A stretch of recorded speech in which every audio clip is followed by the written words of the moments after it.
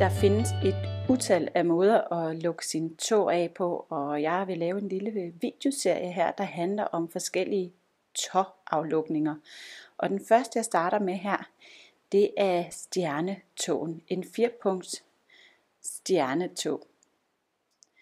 Og øh, det særlige ved togen her, det er, at man tager ind i vrang, og at du kan se, at dine indtagninger de ligger her. Så det er en meget synlig indtagning.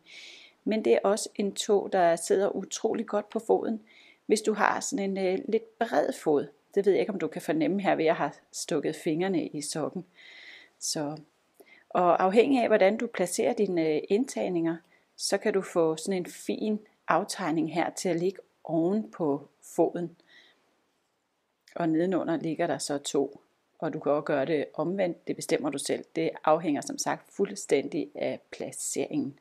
Til den her tog her, der kræver det, at du har 60 masker på omgangen, og du skal lukke af over 30 omgange. Så det betyder jo også, at den får lidt længde, den her tog.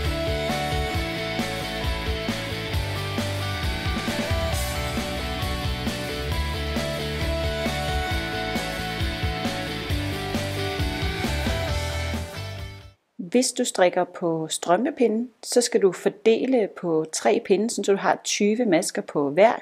Og hvis du strikker Magic Loop, som jeg gør her, så kan du bare øh, sætte en markør, der indikerer, at, øh, hvor det er, at det nye omgang den begynder.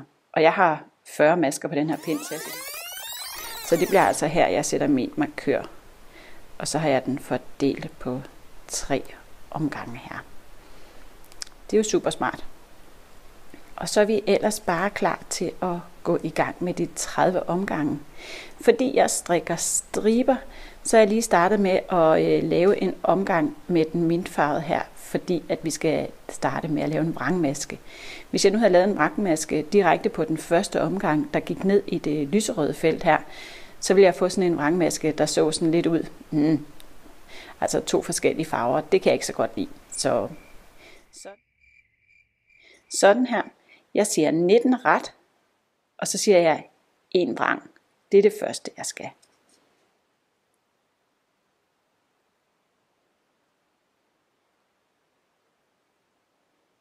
Så det var altså bare at ret hen over pinden, og sidste maske strikkes vrang, så den er ret nem. Sidste maske vrang. Det gør du på alle tre pinde, eller på alle tre punkter. Og derefter så er omgang 2 til 5, dem strikker du bare helt almindelig ret. Så er vi på 6. omgang, og jeg er klar til at gøre min første indtagning. Og det er jo øh, to rang sammen her til at begynde med. Sådan der. Så er to rang sammen. Jeg strammer lige lidt til, fordi jeg strikker Magic Loop. Og så er det 15 ret. Så det to rang sammen igen.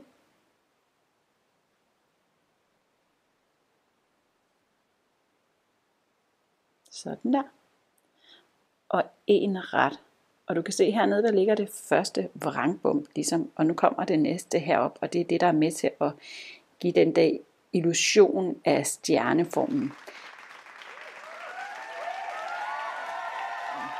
Du gentager det her mønster over de næste to pinde eller næste to punkter.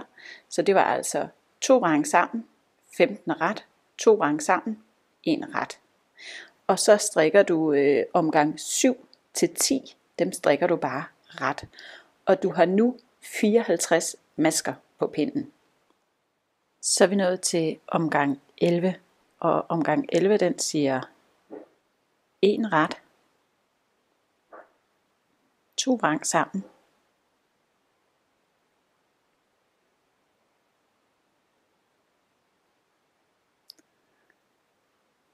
Elleve ret.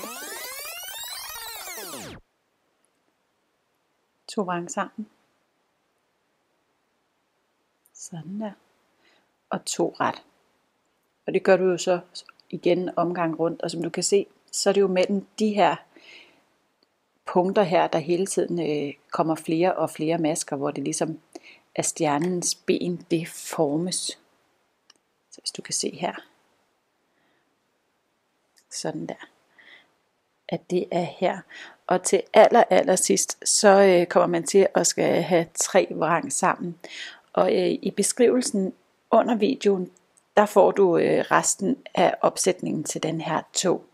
Sådan så du har alle 30 omgange. Men nu har du princippet i det, hvordan man gør en stjernetog.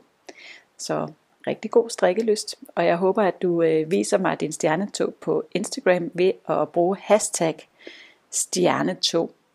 Glem ikke at give videoen en tommel op og tryk på den røde knap, så du følger kanalen her. Rigtig god strikkelyst.